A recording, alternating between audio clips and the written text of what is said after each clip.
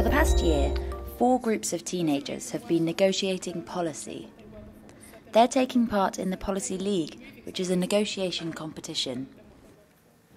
The Policy League is an alternative to debating. Young people are encouraged to negotiate and understand issues from other points of view. After researching their topics for a term, each team arrives armed with facts on one perspective of an issue. Here at the grand final of the Policy League, they are discussing gentrification and the Investigatory Powers Bill. They will have to impress a team of expert judges with a range of negotiation skills. The competition runs in four stages. The first stage is a briefing. Each team briefs their coalition partner on the position they've researched. In this stage, they'll need to show they've researched their position that they understand the broader implications of what they're discussing. Their questions must try and further understanding rather than just win an argument. And they need to show a collaborative approach.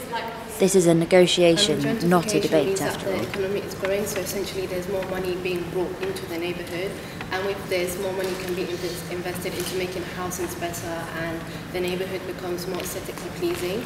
The second stage is to explore the options and come up with ideas to solve whatever problem they have been given.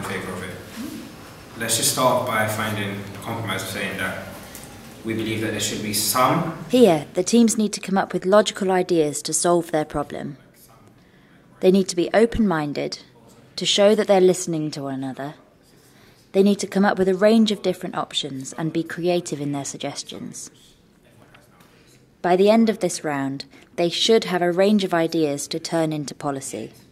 Um, we should we should make sure that the um, judge and the um, Secretary of State, um, Theresa May, we should uh, make sure that they are also willing to have their data checked and show that they are totally impartial and they don't have anyone that um, they don't have any bias. Once they have those ideas, they enter the third stage, the development stage. Some places are more susceptible to foreign investment than others, so. Here, they need to turn those ideas into policy. So they need to test if the policies will work for everyone and where any weaknesses lie. They need to consider the options from different perspectives and negotiate which option they will recommend to the judges. Um, so, yeah, your two key, as it seems to me, key sort of ideas are quite multifunctional in general. So. Just, just to put it out there, gentrification is uh, the displacement of In the final stage, the coalitions are going to brief the judges together.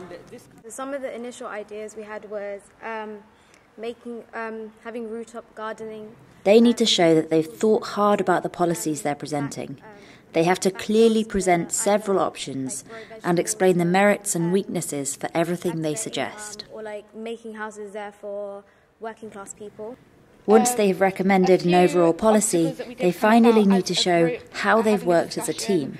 Um, we sort of realised that one group was sort of overtaking the other, but we combated this um, by um, focusing on particular people, asking them questions, getting them to develop. Um, and, and then, once the judges have decided on each coalition's marks, these scores are added to each team's individual total. The team with the most points at the end of the year becomes the Policy League champion. Come up and get your Gleaming Policy League award. You should all